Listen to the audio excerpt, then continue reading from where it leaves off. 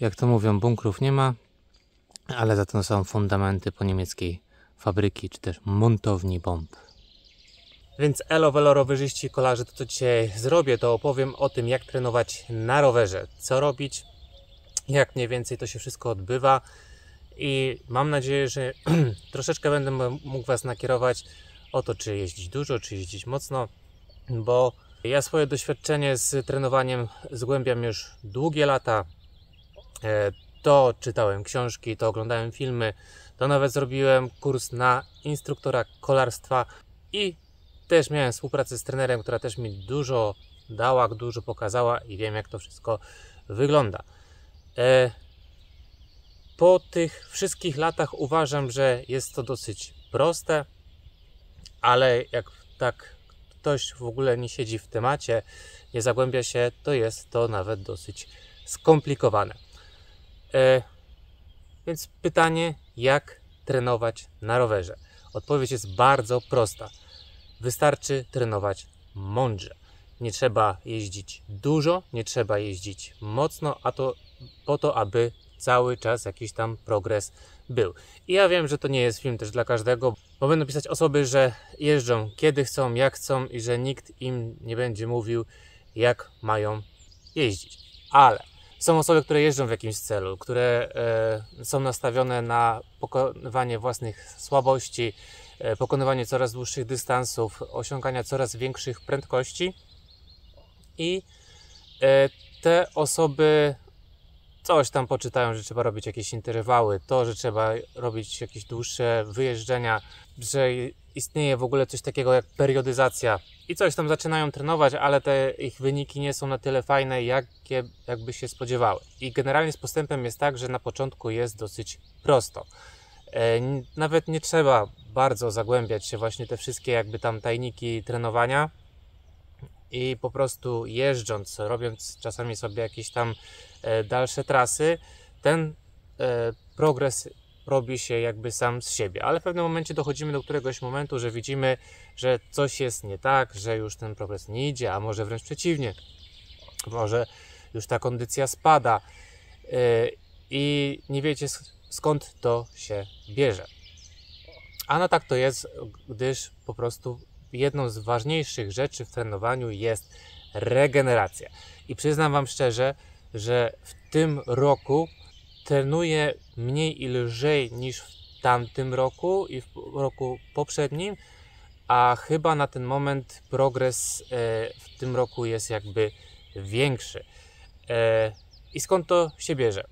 Bardzo w tym roku postawiłem na regenerację i to nie mówię o drenażu limfatycznym, rolowaniu, rozciąganiu, masowaniu, korzystanie z usług fizjoterapeuty, e, nie wiem, spożywanie białeczka, dobry sen, drzemeczki, e, co tam jeszcze?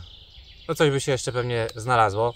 Ogólnie w tym roku staram się tak, aby nie przetrenowywać się na tyle, aby na przykład nie musieć pić za często yerby. Ja na przykład na swoim kanale wspominałem, że nie za bardzo piję kawę, że wolę osobiście yerbę, bo ma ona na przykład lepsze skutki, ale na przykład w tamtym roku, chyba w poprzednim też, piłem yerbę praktycznie codziennie, około godziny 15, bo około godziny 15 już czułem jakby taki zjazd energetyczny yy, i yy, i musiałem wypić, aby mniej więcej dotrwać do reszty dnia. W tym roku stwierdziłem, że nie. E, oczywiście jarbkę dalej piję, ale to głównie na przykład w jakieś tam weekendy przed jakąś mocniejszą przejażdżką, czy też, e, e, no, czy też zawodami.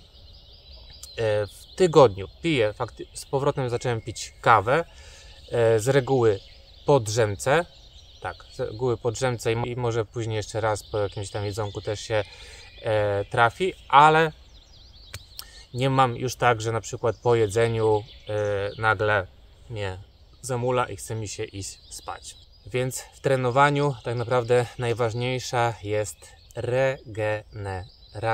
Więc pytanie, ile trenować w tygodniu. Tak naprawdę, jak sobie tak przeliczyłem, to wystarczy od 8 do 10 godzin tygodniowo, co nie jest jakimś mega skomplikowanym wyczynem, bo wystarczą jakieś, nie wiem, trzy takie przejażdżki do półtorej godziny, w tym jedna dłuższa, powiedzmy w weekend, 3, 4, może 5 godzin, zależy na ile Wam czas pozwala. I to już wystarcza na to, aby w ogóle, w ogóle był jakiś progres. Więc pytanie teraz, co trenować? No, no trenować oczywiście interwały. Z interwałami jest tak, e, na początku sezonu jest tak, że e, tych interwałów jest powiedzmy troszeczkę, e, jest ich więcej, ale są krótsze. Później z czasem, tak zwaną periodyzacją, tych interwałów jest coraz mniej, ale są one wydłużone. To tak w skrócie. Oczywiście interwały to są tempówki, czyli tak zwana trzecia strefa, sweet spoty, czyli około czwartej strefy, VO2 maxy, no i wytrzymałość. Wytrzymałość, czyli taki drugi bieg, e, na którym możemy przejechać naprawdę bardzo dużo i e, w dosyć dobrym tempie. Jest jeszcze bieg pierwszy, czyli taki powiedzmy rekre, rekreacyjny, gdzie korzystamy z niego między właśnie przerwami interwałów. No bo oczywiście nie robimy interwału i sobie nie czekamy, aż powiedzmy tętno się uspokoi i znowu robimy interwał, tylko oczywiście jedziemy na rowerze. Nie będę tutaj za bardzo się rozwijał, bo to jest temat tak naprawdę na kilka innych filmów, ale przyznam szczerze, że raczej ja takich filmów robić nie będę, bo widziałem ostatnio, że jest kanał, który bardzo fajnie opowiada o tym. Zajmuje się tylko i wyłącznie właśnie trenowaniem, e, opowiadaniem o treningach i mogę Wam go po prostu polecić, jeżeli chcecie zagłębić więcej wiedzy, bo naprawdę jest jej tam sporo. Teraz tak, kolejna kwestia. Dobra, bo mówię o jakichś strefach. Co to są te strefy? Strefy są, e, mogą być tętna, strefy mogą być mocy. To zależy na czym trenujecie. Ja na przykład mam oczywiście i czujnik tętna i pomiar mocy w korbie i, e, i pomiar mocy InPika w mechanizmie korbowym. E, I co to daje? Generalnie daje to tak, że oczywiście i tu i tu możemy sobie wyznaczyć strefy, E, mogą być to albo na przykład e, względem tętna to z maksymalnego naszego tam e, uderzenia serca na, na minutę, może być to z jakiegoś tam testu FTP, na przykład na pomiarze mocy. I jak to jesteśmy w stanie ogarnąć, to później wiemy mniej więcej w jakiej strefie się znajdujemy podczas jazdy, bo oczywiście to się nam wyświetla na liczniku uważam i polecam, jeżeli ktoś chce trenować, to z pomiarem mocy, mocy jest efektywniej, widzimy nasze postępy.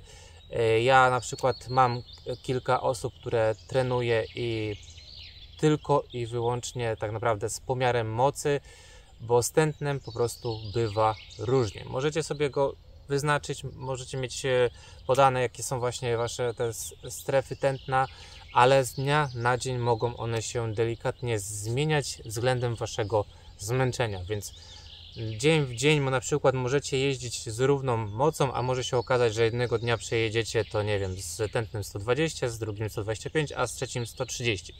To akurat niestety jest zmienne. Fajnie mieć dodatkowo pomiar mocy i pomiar tętna, bo wtedy też widzimy jakie zachodzą zmiany. Jakby ktoś chciał, to jeszcze tam z jedne, dwie osoby mogę jeszcze poprowadzić w tym, w tym sezonie jeżeli chciałby jeszcze osiągnąć jakiś wynik. Myślę, że w przyszłym sezonie od stycznia biorę się na grubo i będę mógł trenować więcej osób, ale to zobaczymy to na razie. No jakby ktoś chciał, to piszcie maila albo na Instagramie, to, to, to jeszcze może coś się ogarnie, aby noga była na, na koniec sezonu. Wspomniałem o czymś takim jak periodyzacja. Generalnie to jest tak, że na początku sezonu, jak wasza noga, wasza, e, wasza, wasza forma jest na niskim poziomie, to też zwiększa się te interwały, zwiększa, zwiększa, zwiększa e, i dochodzi do coś takiego jak do szczytu sezonu, gdzie przez około powiedzmy tam 3 tygodnie jesteśmy w takim super mega gazie i później niestety trzeba odpocząć.